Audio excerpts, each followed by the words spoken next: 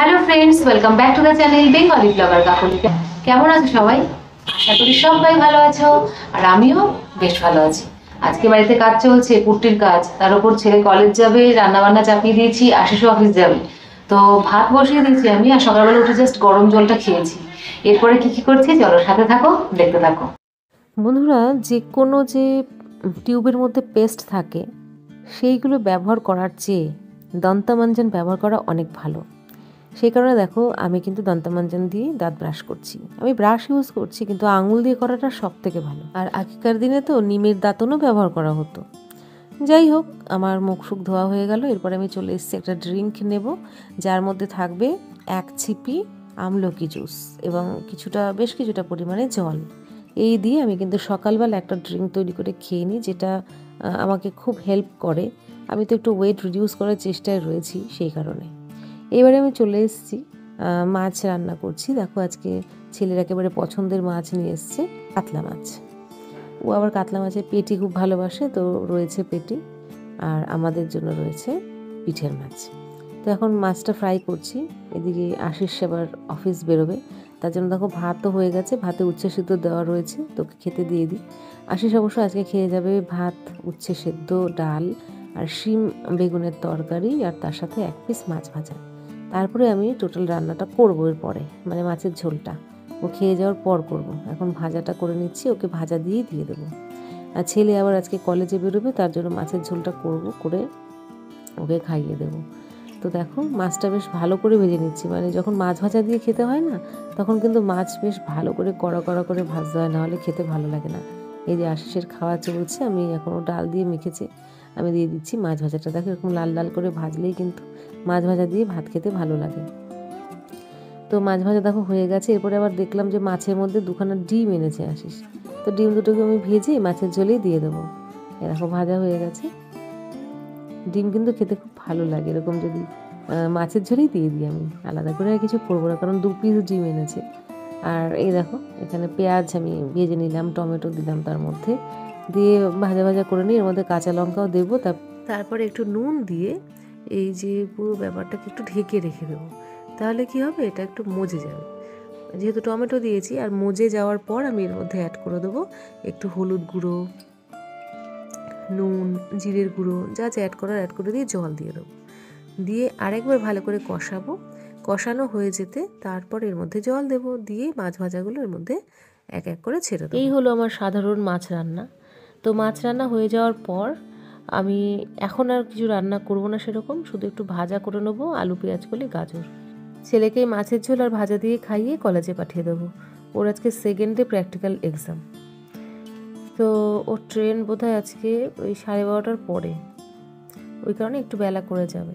আর এক্সামটা শুরু হবে দুটোর সময় থেকে। এ দেখো, ভাজাটাও করে নিলাম। আশিস বেরিয়ে গেল, ছেলে স্নানে গেল। মাছের ঝোলটা নামালাম আর এই গাজর, আলু, পেঁয়াজ কলি ভাজা বসালাম। আর এখন আমি একটা কমলা লেবু খাব। আর বন্ধুরা, আজকে আমি ব্রেকফাস্টে একটা অন্য জিনিস খাব এবং আজকের থেকে কদিন খাব আর কি রেগুলার ভাবছি। সেটা হচ্ছে কর্নফ্লেক্স এ দেখো, একটা বড় প্যাকেটের কর্নফ্লেক্স নিয়ে এসছে আর সাথে দই। দইটা প্যাকেটের দই। এমনি দোকানের দই বা ঘরে পাতা দই হলে বেশি ভালো হয়। যাই হোক, হাতের সামনে অ্যাভেলেবেল হচ্ছে প্যাকেটের দই। তাই সেই দই নিলাম একশো গ্রাম নিয়ে একটুখানি মাপ মতো কর্নফ্লেক্স নিলাম। সেটা আমি সকালের ব্রেকফাস্টে খেয়ে নিচ্ছি। তো অনেক কিছু চেষ্টা করছি ওয়েট লসের জন্য, এবার দেখা যাক। জিমেও তো ভর্তি হয়েই রয়েছি। এরপরে স্নান টান করব, করে নিয়ে যে ঠাকুর পুজো দিয়ে দিলাম। গুড আফটারনুন ফ্রেন্ড স্নান করে, পুজো করে, একটু সাজুগুজু করে নিয়েছি। কাজল লিপস্টিক পরে নিয়েছি। নাইটি পরে সাজুগুজু। তো যাই হোক এখন একটুখানি লাঞ্চ ফাঞ্চ করব। তো তার আগে একটু দেখে আসি কাজ কীরকম হলো আজ যেহেতু কাজ হচ্ছে। কাজ চলছে, কিন্তু এখন বোধহয় টিফিনের একটু ব্রেক নিয়েছে। গুড ইভিনিং এখন আমরা বসে গেছি একদম গরম গরম চা নিয়ে। আশিস আবার ফেরার সময় নিয়ে এসছে ওই ভাজাভুজি আইটেম এই যে, সেটাও বেড়ে নিলাম। এই দেখো, ছেলের জন্য। এবার কি করেছি? হাঁটতে বেরিয়েছি। আশিস আসার পর হাঁটতে বেরিয়েছি এবং যাচ্ছি হচ্ছে পালপাড়ার ওপর দিয়ে। তাই ভাবলাম যে আজকে একটু নিজেরাও সরস্বতী ঠাকুর দেখি এবং তোমাদেরও দেখাই। এই ঠাকুর বানানোর কারিগরদের সারা বছরই কিছু না কিছু ঠাকুর বানানো থাকে। এখন যেরকম সরস্বতী মায়ের সিজন চলছে। আজকে তোমাদের দেখাবো আমাদের এই পালপাড়াতে সরস্বতী ঠাকুর তৈরি হওয়া শুরু হয়ে গেছে প্লাস অনেক জায়গায় চলেও যাচ্ছে। তো সেইখানটাই তোমাদের একটু ঘুরিয়ে দেখাবো আজকে। চলো এই দেখো আরেকটা জায়গা। হুম দেখছি। ভালো আছেন তো? সব বাড়িতে বাড়িতে একদম ঠাকুর ভর্তি।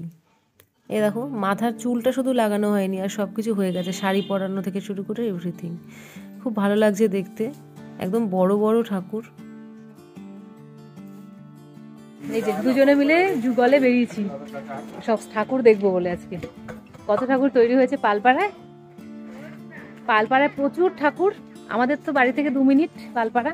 এসছি আজকে। অনেক দিন আগে সরস্বতী পুজোর অনেক দিন আগেই সরস্বতী ঠাকুরকে দেখতে এসছি। চলো। এ দেখো প্রচুর ঠাকুর তৈরি হচ্ছে। কিছু কিছু মাটির রয়েছে এখনও। ভেতরে কালার হচ্ছে। এই যে এখানে খড়ি মাটি দেওয়া হয়ে গেছে।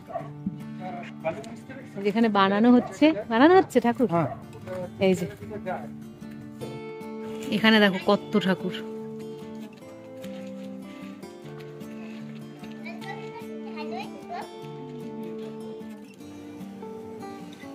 দেখো, গাড়ি করে যাচ্ছে ঠাকুর।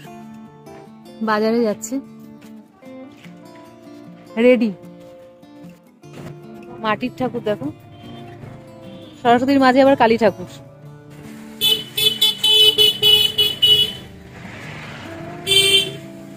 সাদা রং হচ্ছে।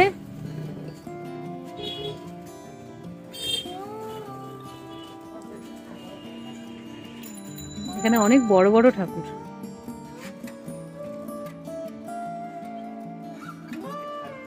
এখানে আবার চক্ষু দান হয়ে গেছে, শাড়ি পরানো হবে।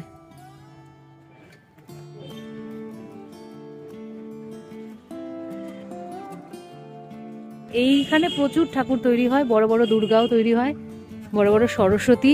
চলো একটু দেখে আসি। ভিডিও করছি।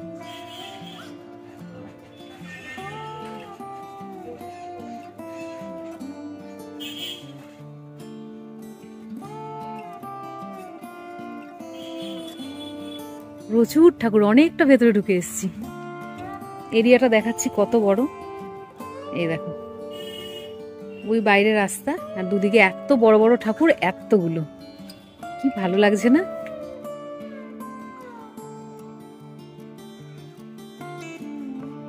ওইদিকে আবার কালার হয়ে গেছে।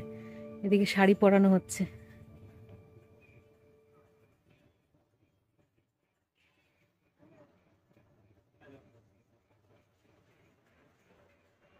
দারুণ দারুণ। চোখ পুরো সার্থক হয়ে গেল।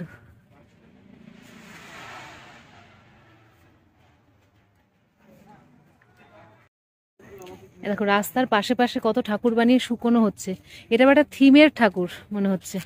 এ দেখো, পেছনে আবার কীরকম একটা মূর্তি রয়েছে, শিব ঠাকুর রয়েছে পেছনে। আর এই যে মা সরস্বতী রুদ্র মূর্তি ব্যাস, এখানেই কিন্তু পালপাড়া শেষ। তো এই ছিল আমাদের এখানকার সরস্বতী ঠাকুর। কতটা বানানো হয়েছে দেখালাম, পালপাড়া ঘুরিয়ে দেখালাম। সরস্বতী পুজোর আগে নিশ্চয়ই তোমাদের ভালো লাগল, ঠিক আছে? এরকম আরও ভিডিও দেখতে চাইলে কমেন্ট করো। Bye take care